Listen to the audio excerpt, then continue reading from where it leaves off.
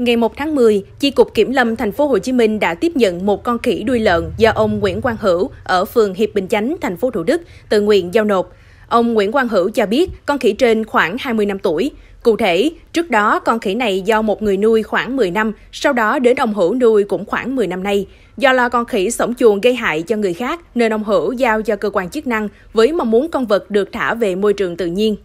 Đến tiếp nhận con khỉ, lực lượng kiểm lâm đã tiến hành thổi thuốc gây mê khỉ để đưa về cứu hộ, chăm sóc sức khỏe trước khi thả về tự nhiên. Con khỉ đuôi lợn trên được lực lượng kiểm lâm xác định là khỉ cái, có trọng lượng khoảng 6 kg, tên khoa học là Macaca leonina, thuộc nhóm 2B trong danh mục động vật rừng nguy cấp quý hiếm.